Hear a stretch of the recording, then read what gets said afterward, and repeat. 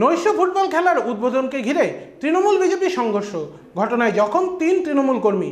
ঘটনাটি ঘটেছে তুফানগঞ্জ দু নম্বর ব্লকের বক্সিরহাটের মহিষকুচি দু নম্বর জিপির বাকলা এলাকায়।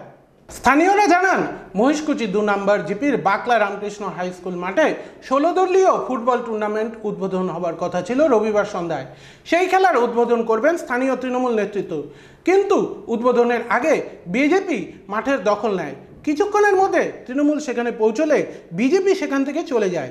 পরবর্তীতে উদ্বোধন শেষে তৃণমূলের কর্মী সমর্থকেরা বাড়ি ফেরার সময় তাদের উপর বিজেপি কর্মী সমর্থকেরা আক্রমণ চালায় বলে অভিযোগ।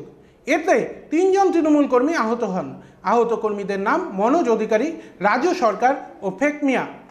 তিনজনের মধ্যে দুজন বক্সিরহাট হাসপাতাল এবং একজন তুফানগঞ্জ মহকুমা হাসপাতালে চিকিৎসাধীন রয়েছেন।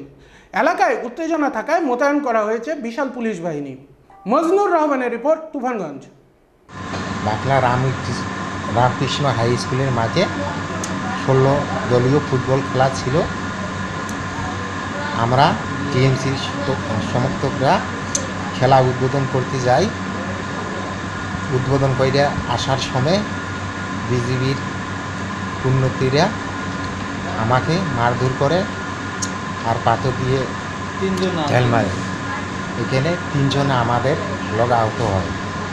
ওরা কি নিয়ে এসেছিল লাঠি বেকি আর কাটা পাথর বাটুল এগুলো তীর